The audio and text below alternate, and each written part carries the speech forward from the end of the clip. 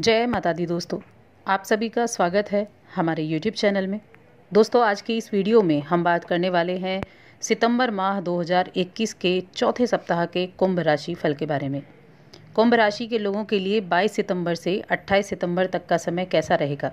इन सात दिनों में ग्रहों की स्थिति कैसी होगी और उनका प्रभाव आपके जीवन पर कैसा होगा? ग्रहों के योग से किस तरह के परिवर्तन आपको अपनी दिनचर्या में देखने को मिलेंगे? जानेंगे सब कुछ विस्तार से। बस आपसे छोटा सा निवेदन है, चैनल पर अगर आप आज पहली बार आए हैं तो चैनल को ज़रूर सब्सक्राइब कर लें और जुड़ जाएँ हमारे चैनल के साथ। यहाँ आपको समय समय पर सभी जानकारियाँ मिलती रहेंगी। तो 22 सितंबर से 28 सितंबर तक की हम बात कर रहे हैं और ये राशिफल चंद्र राशि पर आधारित है।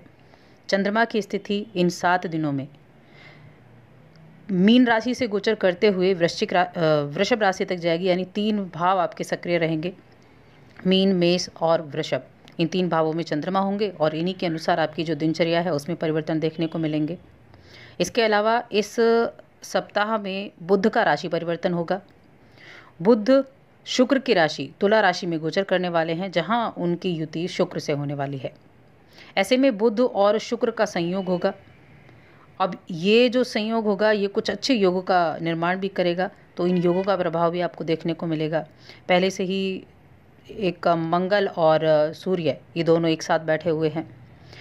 श्राद्ध पक्ष चल रहा है पूरा सप्ताह, ये पितृपक्ष यानी श्राद्ध पक्ष को ही समर्पित है। तो अब विस्तार से जान लेते हैं कि ये जो सप्ताह है, ये किस तरह के परिवर्तन आपकी दिनचर्या में लेकर आएगा। इस सप्ताह की शुरुआत मंगल और सूर्य की दृष्टि आपके द्वितीय भाव पर पड़ रही है।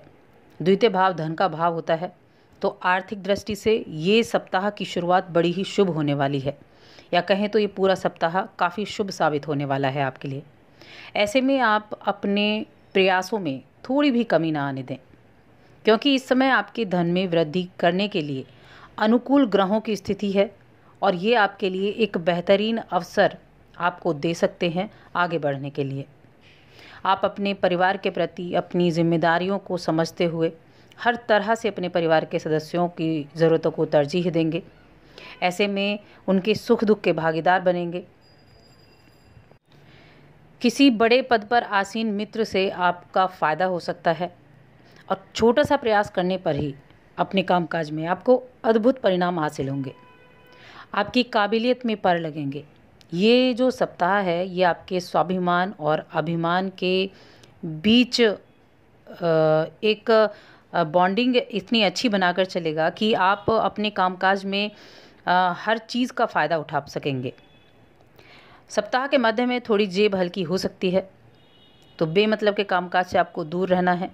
कुछ नए विचार आपके सामने होंगे और नए विचारों से आपको सम्मान भी मिलेगा। नए व्यापार में निवेश के लिए ये समय उचित नहीं है। आप कोई नया निवेश इस समय ना करें। करियर में कई तरह की संभावनाएँ ज़रूर बनने वाली हैं। आपके आंतरिक गुणों का विस्तार होगा। अपने कर्मचारियों से अगर आप व्यवसायी हैं, आप बिज़नेस करते हैं तो आपको कर्मचारियों से ना उलझना है और अनावश्यक वार्तालाप करने से भी बचना है। कोई पुरानी उलझन ज़रूर इस दौरान सुलझ सकती है, जिससे आपको काफ़ी सुकून मिलने वाला है इस चीज़ को सुलझने से। अधिकारियों के समर्थन से आपके टैलेंट को एक नई राह मिल सकती है। इस सप्ताह में आपको वाहन का सुख प्राप्ति का योग है। नई गाड़ी का संकेत आपको आनंद दे रहा है और ये इच्छा आपकी इस दौरान ज़रूर पूरी हो सकती है। अगर आप पहले आपने कोई निवेश किया हुआ था तो वहाँ से आपको कुछ अच्छी खबरें सुनने को मिल सकती हैं। और अपने कामकाज में एक चीज़ का ध्यान रखें कि ज़्यादा चतुराई करने से बचें, वरना लाभ की जगह हानि भी हो सकती है। तो ज़्यादा चतुराई करने की कोशिश बिल्कुल ना करें। किसी बिगड़े हुए रिश्ते को सुधारने की संभावनाएँ हैं। प्रयास करेंगे तो जल्दी ही सफल हो जाएँगे। उच्च पद पर बैठे लोगों के करीब रहने से आपको अचानक से फ़ायदा हो सकता है। तो ऐसे लोगों से आप जुड़े हुए हैं तो निश्चित रूप से ये आपके लिए एक बड़ा प्लस पॉइंट हो सकता है। करियर के लिए कई मिले जुले प्रभाव आपके लिए रहने वाले हैं। कोई करीबी व्यक्ति आज सप्ताह के मध्य में थोड़ा तनाव दे सकता है तो इन चीज़ों को आपको थोड़ा सा संयम रखकर सभी बातों पर आपको, सभी बातों का निष्कर्ष निकालना होगा। स्वास्थ्य का भी ध्यान रखना होगा। स्वास्थ्य की, जो सप्ताह की शुरुआत है, उसमें आपका स्वास्थ्य अच्छा रहेगा, लेकिन मध्य में आपके लिए स्वास्थ्य संबंधी परेशानियाँ हो सकती हैं। लेकिन जो सप्ताह का अंतिम समय होगा, ये आपके लिए, आपकी कौशल से लाभ दिलाने वाला होगा। कारोबारियों के लिए शुभ समाचार लेकर आएगा। किसी की सकारात्मक टिप्पणी आनंद का सृजन करेगी। और भावनात्मक लगाव भी कुछ लोगों से आपका रहेगा। कार्य में निपुणता रहेगी। धीरज रखने से आपके हित में कार्य होंगे। कुछ नया करने की इच्छा मन में जागृत हो सकती है। बुध का राशि परिवर्तन होगा, शुक्र के साथ बैठेंगे। शुक्र के साथ बुध युति करेंगे। बुध जो है व्यापार के, शिक्षा के, प्रेम के कारक ग्रह हैं और शुक्र ये भी प्रेम के कारक ग्रह हैं, सौंदर्य के हैं। तो ये आपकी इच्छा शक्ति को बड़ा प्रबल करेगा। प्रेम संबंध के लिए मध्य माह मध्य सप्ताह से बहुत अच्छी स्थितियाँ आपके लिए होने वाली हैं और शिक्षा के प्रति आपकी चिंता और चिंतन दोनों होने वाले हैं। करियर में अद्भुत परिणाम देने के साथ अनोखे तनाव भी हो सकते हैं।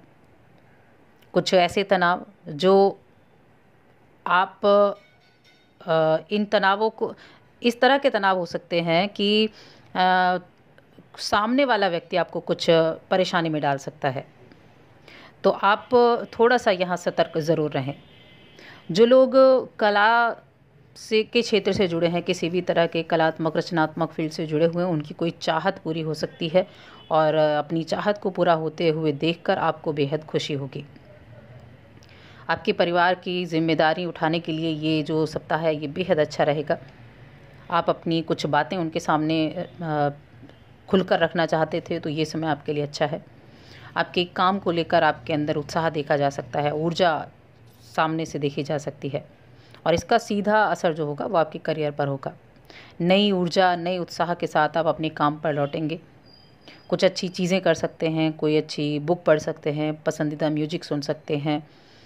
सप्ताह के केतु जो है, वो आपकी उच्च राशि में विराजमान होकर दसम भाव में बैठने से छात्रों को मिलने वाली हर सफलता उनके अंदर आत्मविश्वास को अधिक बढ़ाने का कार्य करेंगे। ये सप्ताह में केतु का सबसे अधिक अधिक जो प्रभाव होगा, वो होगा विद्यार्थियों पर, जो सभी छात्रों के लिए बड़ा अच्छा रहेगा। किस किसी तरह के निर्णय लेने में अगर आपको परेशानी आ रही थी तो वो निर्णय आपके पूरे होंगे और आप सही तरीके से निर्णय लेने में पूरी तरह से सक्षम होंगे। किसी भी बड़े फैसले पर पहुँचना चाहते थे तो आपके लिए स्थितियाँ जो हैं वो अच्छी रहेंगी। बड़ों की सलाह, मशवरा भी लेंगे, वो भी आपके काम आएँगे और काफ़ी अच्छा रहेगा। अब ये जो सप्ताह है, ये श्राद्ध पक्ष का सप्ताह है अपने पितरों को याद करने का, अपने पितरों के निमित्त तर्पण करने का तो वो कार्य भी ज़रूर करें और हनुमान जी की उपासना करें। हो सके तो एक सुंदर कांड आप घर में बैठकर कर सकते हैं। ये आपके लिए उपलब्धियों में चार चाँद लगाने वाला साबित हो सकता है। तो दोस्तों, और अधिक ऐसी जानकारियों के लिए चैनल को सब्सक्राइब कर लें। हमारी इस वीडियो को ज़्यादा से ज़्यादा लाइक करें शेयर करें।